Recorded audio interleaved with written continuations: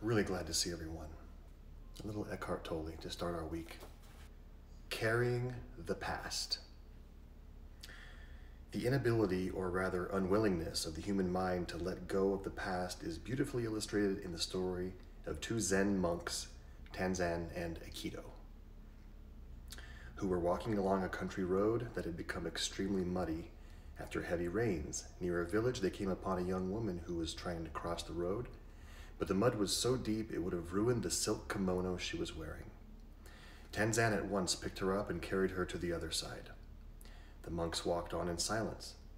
Five hours later, as they were approaching the lodging temple, Ekido couldn't restrain himself any longer. Why did you carry that girl across the road? he asked. We monks are not supposed to do things like that. I put the girl down hours ago, said Tanzan. Are you still carrying her? Now imagine what would what life would be like for someone who lived like Ekido all of the time, unable or unwilling to let go inten- internally of situations, accumulating more and more stuff inside, and you get a sense of what life is like for the majority of people on our planet. What a heavy burden of the past they carry around with them in their minds. The past lives in you as memories, but memories in themselves are not the problem. In fact, it is through memory that we learn from, past, from the past and from past mistakes.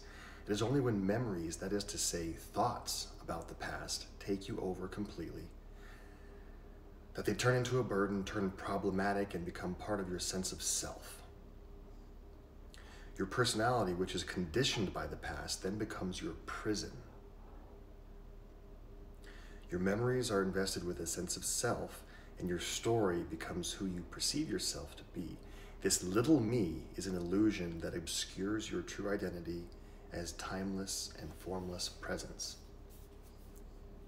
So the question is do we live in the past or do we live in the present? So ask yourself this here's the litmus test. How often do you dwell on memories? How much of your day is spent ruminating, thinking about things that happened in the past, whether they were good or bad? Now, usually we think about bad things more than, than good things in the past. Not always, not always, but of course, a lot of us ruminate and we get into this spiral thing. You know that what the what the water in the, in the toilet does when you flush it. That's what our mind and emotions do, and it compounds. But the question is, how often do we dwell? Do we wish things would have been different? Are we sad? Or disappointed about the past.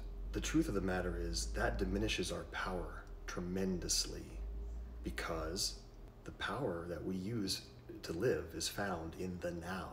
When we open our eyes and ears and hearts and we see what's currently in front of us right now, the energy that's here now, this is where we interact with life, not in the past. Yes, as Eckhart Tolle said, we can learn. However, that's all it should be. We can take the memory and learn from it. We can even learn from other people's pasts, other people's actions, obviously. But we don't ruminate. We don't create it into our self identity. Oh, I'm someone who's been wronged. I'm a victim of this and that. No, you're not. You are not a victim of this or that. You are not a person who's been wronged. There was an event in your life, there was a situation.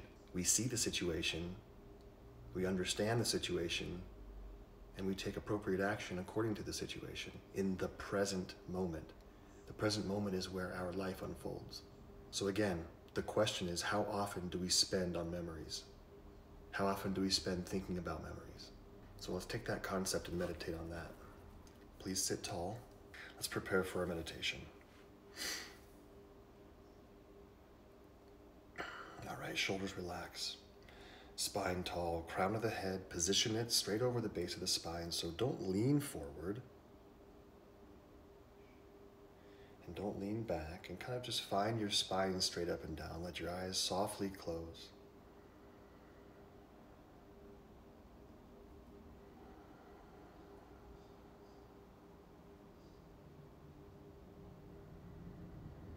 The easiest way to get into the present moment is to focus on the breath. Imagine that. Let's be here and let's be now.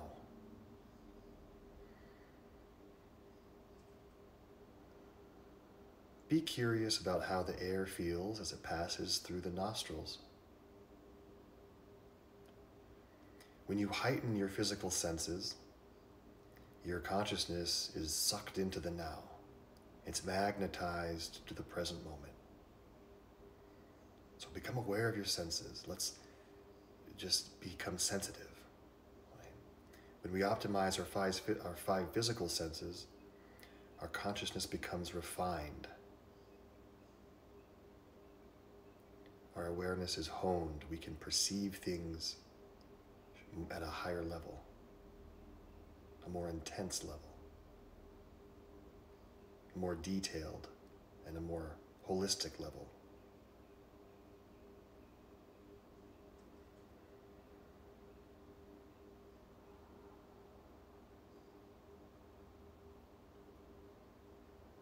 Please deepen the breath. Feel the lungs and ribs expanding and contracting.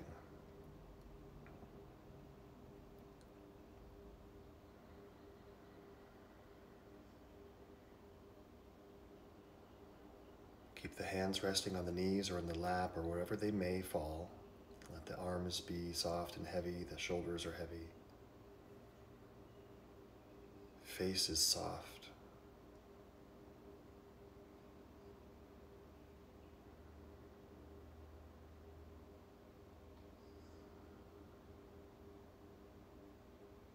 let's just have a moment of honesty, please. What are some things that you habitually think about on a daily basis or on a regular basis that happened in your past? We all have at least two or three or more events or situations that occurred to us in our past, whether it was last week or last decade, that we think about a lot. Just be, let's just be honest about that and bring those thought constructs to the front of our mind.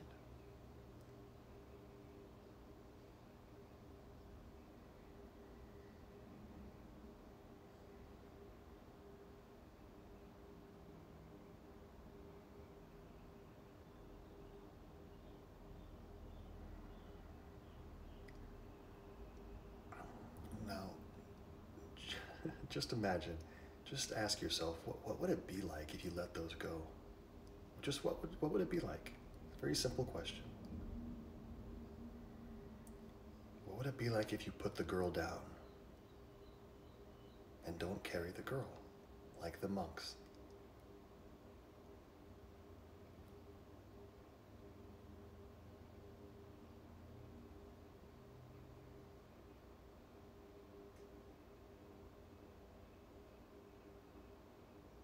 What would change in your energy field?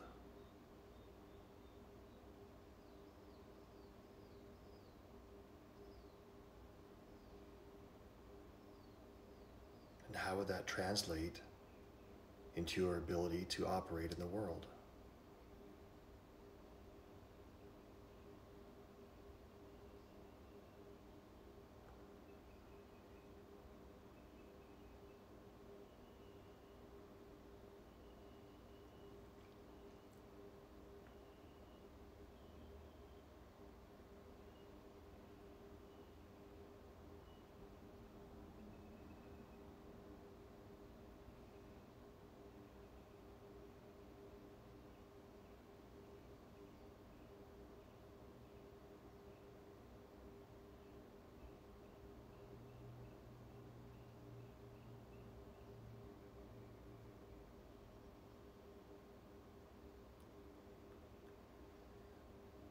Please now return to your deep breathing and make it even slower and even deeper.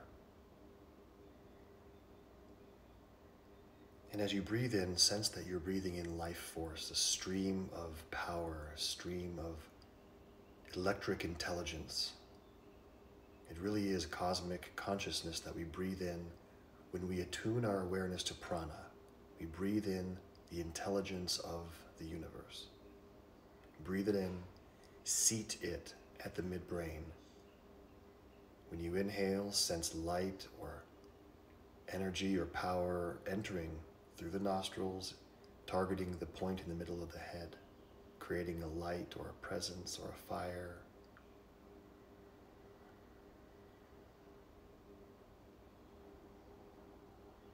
And just be there, be here. Don't be anywhere else. Don't be any when else.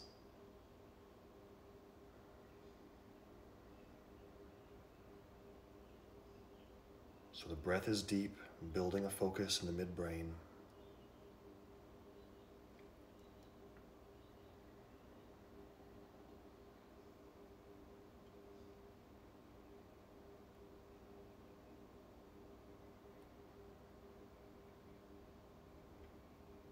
Now build that same focus at the heart. So the same thing as you inhale, sense the influx of light, of power, of energy. Traverses the nasal passageway through the brain, down the spine to the heart with your inhales. With your exhales, feel the light expanding and flooding the heart space.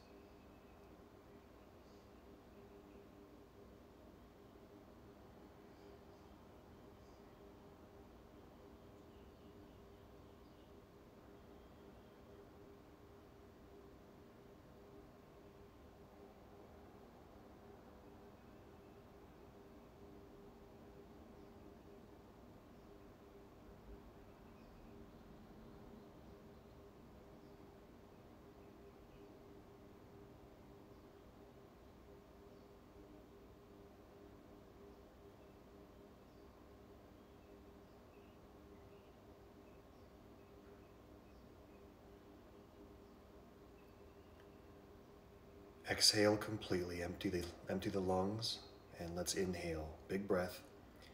Fill up and hold the breath.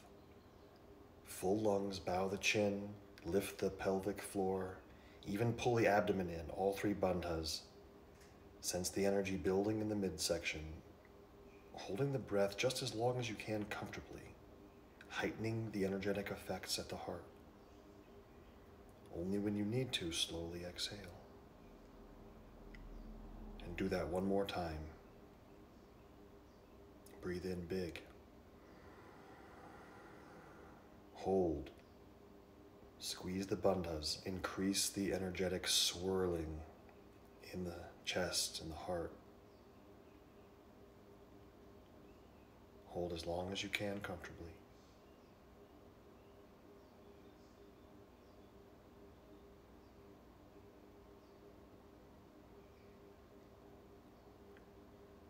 Exhale, just be still.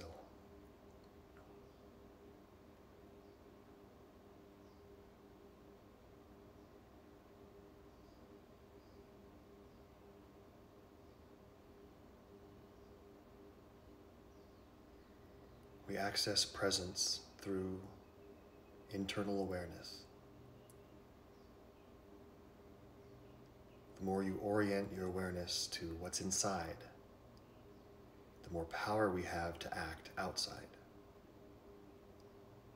Spend less time in the past. This also applies to the future. Spend less time wondering, wishing, being anxious about the future. Spend more time in the here and now. It's a practice. Just be the witness and use some guidance, use some course correction to root your awareness in the now.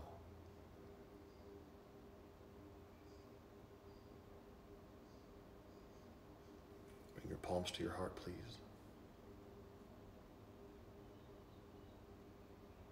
How sensitive is the skin of your hands and fingers?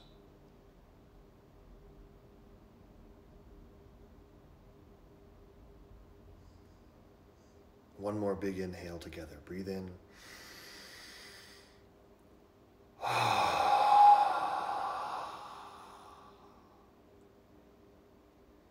And slowly open the eyes when you're ready.